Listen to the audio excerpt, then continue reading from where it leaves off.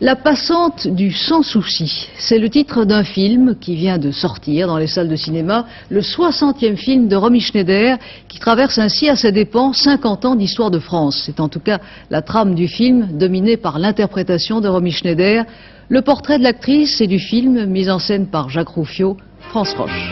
1933, une femme qui perd amour et fortune. 1982, une femme frappée en plein bonheur.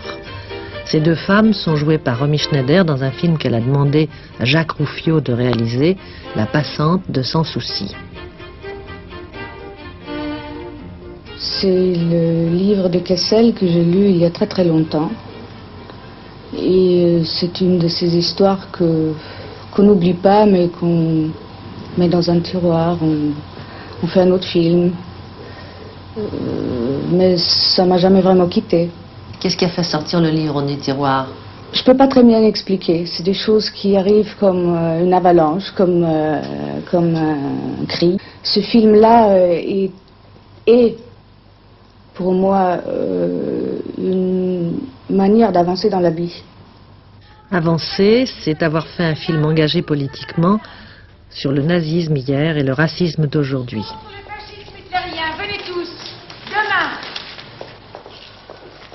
Ce qui est issu de, des prémices du nazisme en 1933 et qui s'est poursuivi jusqu'à 1945 avec la, la, guerre que l'on sait, il y a toujours des ramifications de racisme de toute façon. Et il se trouve que selon les époques, peut-être un petit peu plus en ce moment qu'il y a dix ans, par exemple, je ne sais pas, mais ça existe. Et même si notre histoire a été écrite avant la rue Copernic, avant des choses comme ça, curieusement, l'histoire, hélas, nous rattrape toujours. Donc, euh, raison de plus pour faire des films comme ça, je crois.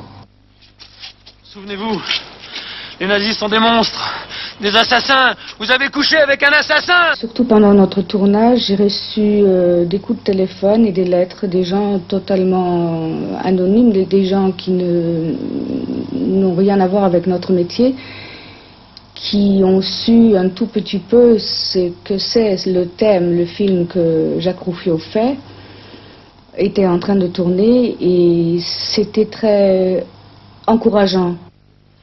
Il fallait mourir. Michel serait libéré.